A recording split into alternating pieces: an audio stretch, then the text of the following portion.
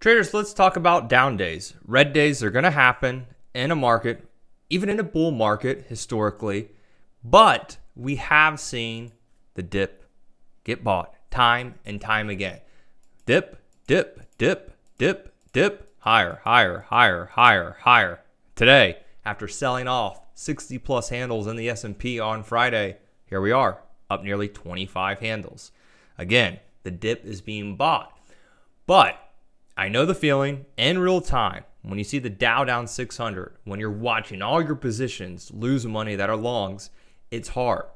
So there's a couple things you can do. Number one, know your main goal of the position. Is it a certain price target? Is it a certain price on an option? If that goal is still there, if the fundamentals or the technicals haven't changed, then stick with it. Again, historically, we've bounced back. A thing that I like to do, so I don't have to stare at my computer and my charts all day, and I don't want to be worried looking at my P&L down all day. So A, I'll minimize it, and then B, I'll put alerts on. Like for example, here's the S&P. I put two alerts on. I actually go to the five minute, put an alert, high of the day and the low of the day or the open. Therefore, if we take out the high, chances are market's going to scream higher. I know I can look at my longs, see if any price targets have been met. If we take out the low of the day, then hey, sellers are coming in. Maybe I should adjust my positions accordingly if I think we're going to continue to sell off. Use the down red days for stocks that you like. Maybe you've been wanting to buy Facebook or Apple or Netflix, and now they're down 2 3% in a day. Hey, is it on your shopping list?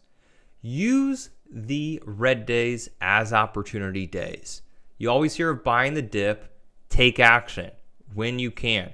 Now, don't get me wrong. If you think the whole economy and the whole world's going to collapse and doomsday is going to happen, well, then, hey, you don't have to participate. That's fine. I know traders and investors, some of you have that idea.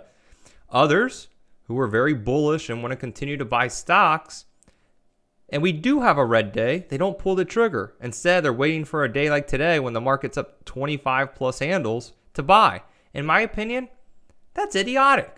Why not buy when the market's red? So let me know what you do during the sell offs. Maybe you just go enjoy a game of golf or go out to lunch or maybe you're aggressive and you're a buyer. Shoot me an email, lance at thefuturewealth.com. Look forward to hearing from you.